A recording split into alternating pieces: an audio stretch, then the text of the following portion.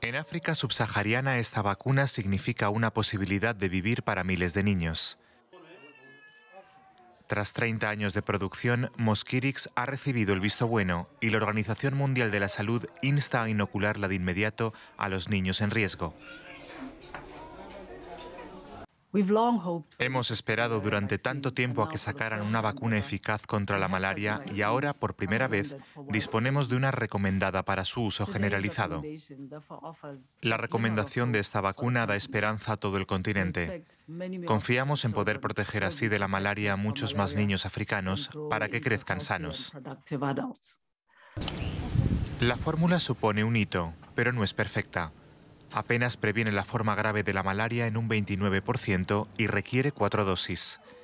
Con todos los estudios estiman que cada año evitará la muerte de decenas de miles de niños menores de 5 años. Además, su distribución es muy sencilla.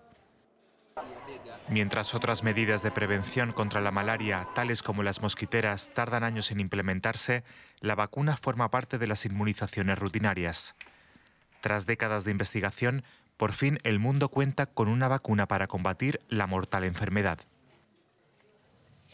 Para analizar este hito de la ciencia y de la medicina, queremos hablar ahora con Daniel Barón eh, desde Mutens, eh, en Suiza. Es químico e investigador del Instituto de Química y Bioanalítica de la Universidad de Ciencias Aplicadas del Noroeste de Suiza. Trabajó también con el inventor de esta vacuna contra la malaria. Muchísimas gracias por estar con nosotros y quisiera comenzar preguntándole por una cuestión bastante sencilla en el contexto de la pandemia de coronavirus y es que sabemos que una de las razones por las que la gente ha sido escéptica de la vacunación contra el Ha sido que la vacuna se desarrolló muy rápido. Ahora estamos viendo una que tardó décadas. Eh, ¿Sabemos por qué fue que tardó tanto en desarrollarse esta vacuna?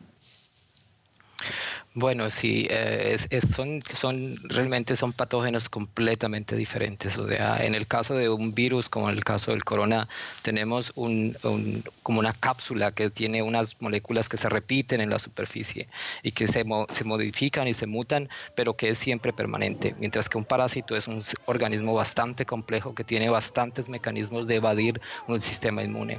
Es decir, que muchas de las vacunas que se han creado, él las evade sencillamente por otro mecanismo y eso por supuesto lo dificulta. Ahora hablemos eh, de la perspectiva. Eh, normalmente se habla mucho del continente africano cuando hablamos de esta solución posible a la malaria. En Latinoamérica también hay países que tienen esta enfermedad, pero varios que están considerablemente cerca de erradicarla o que la han erradicado ya.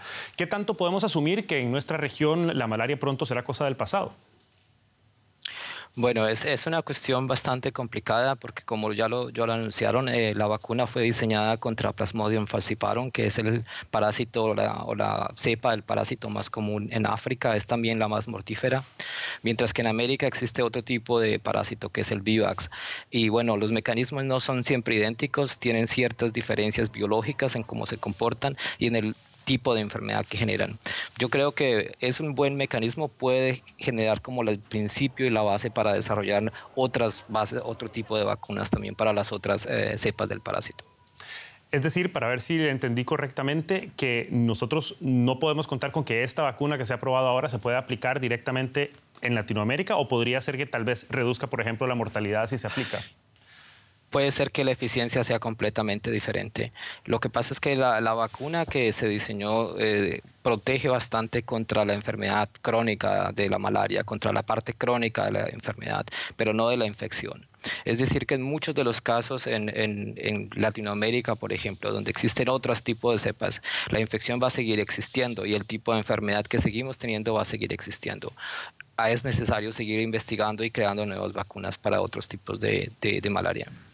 Daniel Barón, muchísimas gracias por ayudarnos a entender mejor este gran paso para la medicina en contra de la malaria. Muchísimas gracias. con mucho gusto.